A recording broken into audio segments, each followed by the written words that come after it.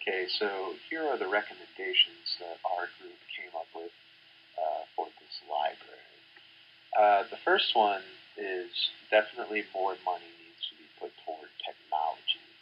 Um, computers in particular, uh, one of our librarians noted that they could have twice the number of computers that they do now, and they would all still get used.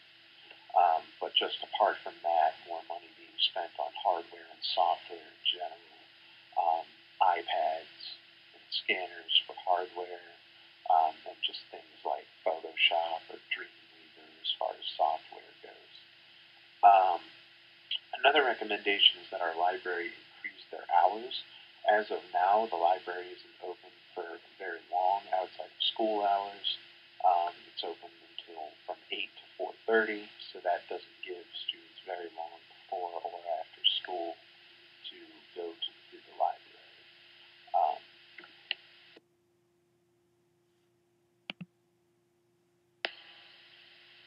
now, obviously, uh, the fact that the library would have increased hours would also mean that it would need uh, more employees working. Um, and that's where our next recommendation comes into play, which is that the library should actively recruit volunteers to help staff it during the extra hours. Um, we were thinking the library can network with the PTA and with um, the local college system in the city um, to recruit their volunteers. And that can include students, uh, teachers, parents, just anybody that would be willing to contribute. Um, our last recommendation was based more on a qualitative observation than statistical data, um, but we did notice that subjects, history in particular, um, felt a bit lacking as far as the collection goes. And uh, so we recommend that the library encourage book donations and um, just do everything they can to sort of beef up their collection in that area.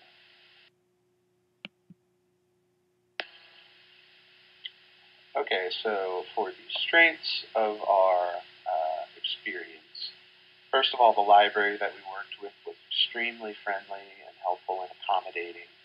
Um, uh, that's probably because we had a bit of a connection to the library, um, so everyone was very uh, eager to sort of participate in the project. Um, data was also really easy to collect. Um, students were cooperative. Um, and our group worked well together. Uh, sort of roles were delegated very easily. There wasn't really any friction between members. Uh, overall, it was a very easygoing experience.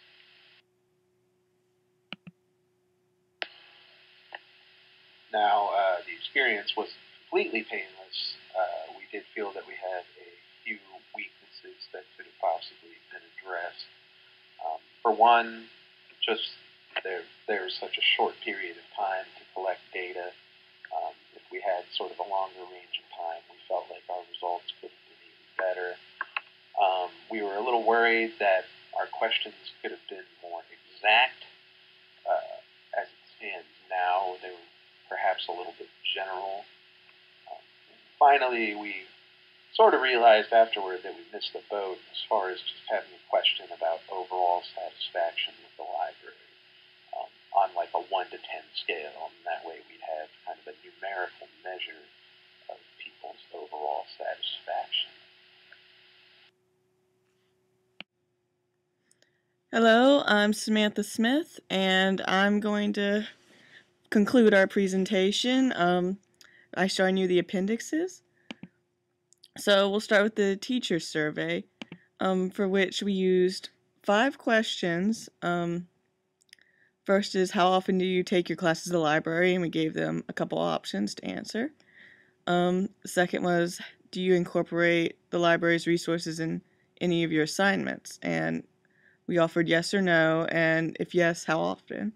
For the third, we asked overall how helpful are the media specialists at the library? And gave them a couple options to answer. And for the fourth question, um, we asked other than your assignments and classes, for what else do you use the library? And we gave them a couple options there.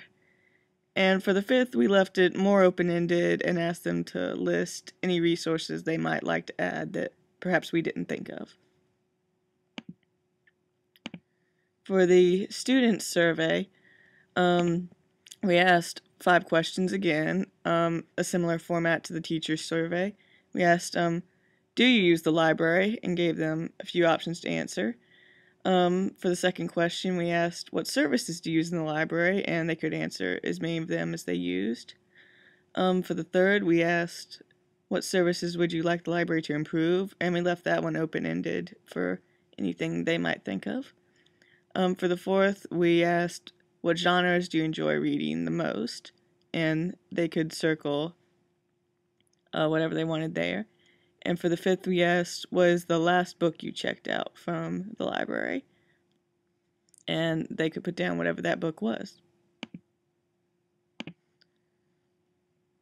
For our media specialist interview questions, um, we put together two sections um, an organizational needs questions and personal needs questions. Um, these would be used to get a better idea of um, what the media specialists um, need in the library for um, overall work and also for their personal work.